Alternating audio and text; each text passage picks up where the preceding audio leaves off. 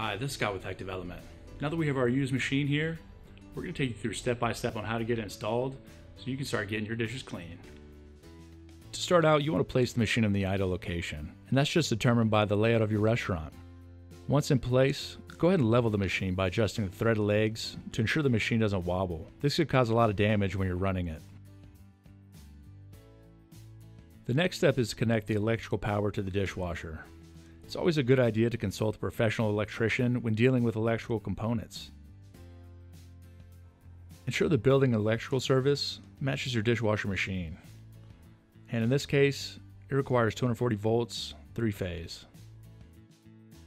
Now it's time to complete the plumbing. As with the electrical, it's a good idea to consult a professional plumber. Be sure to install a shutoff valve at the machine for the incoming water supply.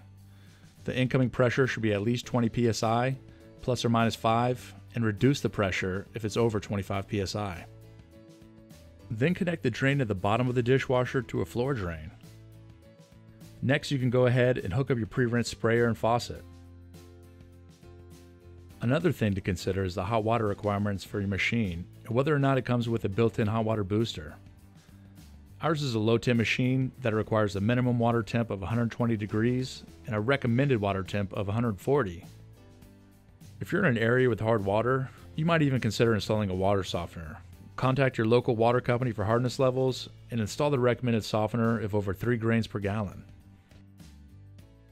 The next step is to install the chemical pumps and chemical pump tubing. Some dishwashers have built-in pumps, so if this is the case with yours, go ahead and skip to the next step. Connect the detergent pump tubing into the fitting located at the back of the dishwasher. This will add product directly into the wash tank. Then we're going to go ahead and connect the rinse and sanitizer from the outlet of the pump into the correct fittings on top of the machine. These products are added in the final rinse step. Next, connect the chemical supply lines to the input of the pump and install the pickup tube that goes into the chemical container. Then, go ahead and repeat for each pump. Then you want to attach the clean and soiled dish table on either side. Attach by placing lip over the side of the dishwasher. And again here, level using the threaded legs at the bottom. Once you know the placement and they are level, apply some sealant to the lip and reattach to the machine. For added stability, attach tables to the dishwasher using screws. Well, that's about it for the installation. We hope you found this video helpful. In the next video, we're going to show you how to start up your machine and get a load of dishes going.